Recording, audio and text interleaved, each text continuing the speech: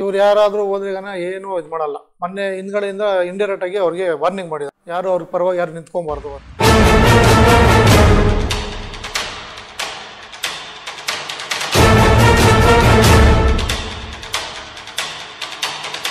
ನಮ್ಮ ಊರಲ್ಲಿ ಆದಂಗೆ ಇನ್ನು ಯಾವ ಊರಲ್ಲೂ ಆಗ್ಬಾರ್ದು.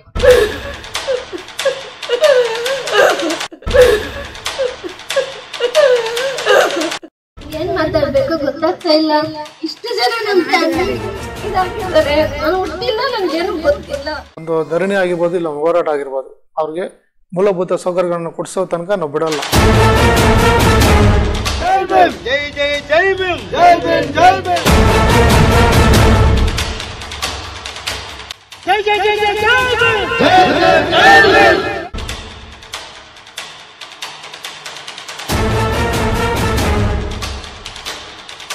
ಅಲ್ಲಿ ಮಾರ್ಚಲ್ಲಿ ಎರಡು ಸಾವಿರದ ಇಸ್ವಿಯಲ್ಲಿ ಒಂದು ದುರ್ಘಟನೆ ನಡೀತು ಸಜೀವ ದಹನ ಮಾಡ್ತಾರೆ. ಅವರು ಸ ಒಂಬತ್ತು ಜನ ಅಲ್ಲೇ ಇದಾಗ್ತದೆ ಸಜೀವ ದಹನ ಆದಮೇಲೆ ಅಲ್ಲೇನಾಗ್ತದೆ ಅಂದರೆ ಇವತ್ತು ತನಕ ಇವತ್ತು ತನಕ ಅವ್ರ ಮನೆ ಕಡೆ ಯಾರೂ ಇಲ್ಲ. ಒಂದು ಗಂಡು ದಿಕ್ಕಿಲ್ಲ ಅವ್ರಿಗೆ. ಒಂದು ಗಂಡು ದಕ್ಕಿ, ದಿಕ್ಕಿಲ್ಲ. ಅವ್ರಿಗೆ ಸರ್ಕಾರದಿಂದ ಯಾವುದೇ ಮೂಲಭೂತ ಸೌಕರ್ಯಗಳು ಯಾವುದೂ ಹೋಗಿಲ್ಲ. ತುಂಬ ನೊಂದ್ಕೊಂಡ್ಬಿಟ್ಟಿದ್ದಾರೆ ಮನೆಯಲ್ಲಿ. ಅದಕ್ಕೆ ಅವ್ರಿಗೆ ಏನಂದ್ರೆ ನಮ್ಮ ಸಂಘಟನೆ ಕಡೆಯಿಂದ ಅವ್ರಿಗೊಂದು ಸರ್ಕಾರಿ ಉದ್ಯೋಗ ಕೊಡಿಸ್ಬೇಕು ಅನ್ನೋದು ನಮಗೆ ಇದು ಮಾಡ್ತಾಯಿದ್ರೆ ಅದೊಂದು ಇನ್ನೊಂದು, ಅವರಿಂದ ಬೆಂಬಲವಾಗಿ ನಮ್ಮ ಕರ್ನಾಟಕ ಬಿಂಸನೇ ಇರೋದು. ಊರಲ್ಲಿ ಒಗ್ಗಟ್ಟಿಲ್ಲ. ಇವ್ರು ಯಾರಾದರೂ ಹೋದ್ರೆಗನ ಏನೂ ಇದು ಮಾಡಲ್ಲ. ಮೊನ್ನೆ ಹಿಂದ್ಗಡೆಯಿಂದ ಇಂಡೈರೆಕ್ಟಾಗಿ ಅವ್ರಿಗೆ ವಾರ್ನಿಂಗ್ ಮಾಡಿದ್ದಾರೆ. ಯಾರು ಅವ್ರ ಪರವಾಗಿ ಯಾರು ನಿಂತ್ಕೊಬಾರ್ದು ಅಂತ. ಅವ್ರ ಊರವ್ರೆ ಯಾರು ಹೇಳ್ಕೊಂತ, ಹೆಸರು ಹೇಳ್ಕೊತಾ ಇಲ್ಲ. ಆ ಥರ ಇದ್ದಾಗ ಅಂಥವ್ರಿಗೆ ನಾವು ಸಪೋರ್ಟ್ ಮಾಡಬೇಕು. ಆ ಊರಿನ ಮೆಂಬರ್ಗಳು ಅಷ್ಟೇ ಏನಾಗಲಿ ಯಾರೂ ಅವ್ರಿಗೆ ಸಪೋರ್ಟ್ ಮಾಡ್ತಾ ಇಲ್ಲ. ಗಂಡದಕ್ಕೆ ಇಲ್ಲ ಮನೆಗೆ.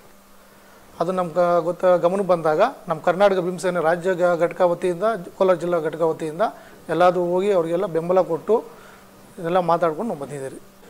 ಮತ್ತು ಇನ್ನೊಂದು ಏನಂದರೆ, ಅದೇ ಮಿನಿ ಕಂಬಾಲ್ಪಲ್ಲಿಯಲ್ಲಿ ನಮ್ಮ ಅಂಬೇಡ್ಕರ್ ಜಿಯವರ ಭವನವನ್ನು ದನದ ಕೊಟ್ಟಿಗೆ ಮತ್ತು ಕುರಿಗಳ ಕಟ್ಕೊಂಡು, ಹುಲ್ಲುಗಳು ಮೇಯಿಸ್ಕೊಂಡು ಇರ್ತಾರಲ್ಲ, ಆ ಥರ ಅದಕ್ಕೆ ನಾಮಫಲಕ ಕೂಡ ಇಲ್ಲ. ಅದು ನಮ್ಮ ಕರ್ನಾಟಕ ಭೀಮಸೇನೆ ತುಂಬ ಖಂಡಿಸ್ತಾ ಇದೆ. ಆ ಊಲ್ವಾಡಿ ಪಂಚಾಯಿತಿಯಲ್ಲಿ ಪಿ ಡಿ ಒ ಇದಾನೆ ಅಂತ ಗೊತ್ತಿಲ್ಲ ಇದಾನೆ ಗೊತ್ತಿಲ್ಲ. ನಾವೇ ಸದಾ ಅಲ್ಲಿಗೆ ಭೇಟಿಯಾಗಿ ಫೋನ್ ಮಾಡಿದ್ರೆ ಸರ್ ನಾನು ರಜದಲ್ಲಿ ಇದ್ದೀನಿ ಆ ಊರಿಗೆ ನಮ್ಮ ಅದಕ್ಕೂ ನಂಗೆ ಸಂಬಂಧ ಇಲ್ಲ ಅಂತ ನಮಗೆ ದುಸ್ತಪಿಸ್ತಾ ಇದ್ದಾನೆ. ನಾವು ಅದು ಸಾಧ್ಯವಾದ ಗುರುವಾರ ಇಲ್ಲ ಶುಕ್ರವಾರ ಪಂಚಾಯಿತಿಗೆ ಹೋಗಿ ನಾವು ಇದು ಮಾಡ್ಕೊಂಡು ಬರೋಣ ಅಂತ ನಮ್ಮ ಸಂಘಟನೆಯಿಂದ ಇದು ಮಾಡ್ತಾ ಇದ್ದೀವಿ. ಗೊತ್ತಿಲ್ಲ ಏನಂತ ಗೊತ್ತಾಗ್ತಾ ಇಲ್ಲ. ಅವ್ರಿಗೆ ಏನೋ ಇಲ್ಲ ಏನಾದರೂ ರಾಜಕೀಯ ಕುತಂತ್ರ ನಡೀತಾ ಇದೆ ಒಂದು ಗೊತ್ತಿಲ್ಲ. ಇಲ್ಲ ಇಲ್ಲ ಆ ಊರಲ್ಲಿ ದಲಿತರು ಇದ್ದಾರೆ ಅಂತ ಹೇಳ್ಬಿಟ್ಟು ಏನಾದರೂ ಇದು ಮಾಡ್ತಾ ಇದ್ದಾರೆ ಒಂದು ಗೊತ್ತಿಲ್ಲ. ಆ ಥರ ಬಂದಿದ್ದ ಪರಿಸ್ಥಿತಿ ನಮ್ಗೆ ಇಲ್ಲ, ಮೂವತ್ತು ದಲಿತ ಕುಟುಂಬ ಇದೆ. ಆ ಒಂದು ಮನೆ ನೋಡಿದ್ರೆ ಇನ್ನೊಂದು ಮನೆಗೆ ಆಗಲ್ಲ. ಆ ಥರ ಇದ್ದಾರೆ ಅಲ್ಲಿ ಎಲ್ಲ ಅಲ್ಲಿ ತುಂಬ ಭಯ ಉಟ್ಕೊತಾ ಇದೆ. ಅದು ಏನಂತ ಗೊತ್ತಾಗ್ತಾ ಇಲ್ಲ. ನಮ್ಮ ಸಂಘಟನೆ ಕಡೆಯಿಂದ ಅವ್ರಿಗೆ ಸರ್ಕಾರದ ಮುಟ್ಟೋ ತನಕ ಒಂದು ಧರಣಿ ಆಗಿರ್ಬೋದು, ಇಲ್ಲ ಹೋರಾಟ ಆಗಿರ್ಬೋದು, ಅವ್ರಿಗೆ ಮೂಲಭೂತ ಸೌಕರ್ಯಗಳನ್ನು ಕೊಡಿಸೋ ತನಕ ನಾವು ಬಿಡಲ್ಲ. ಅದು ನಮ್ಮ ಹೋರಾಟ.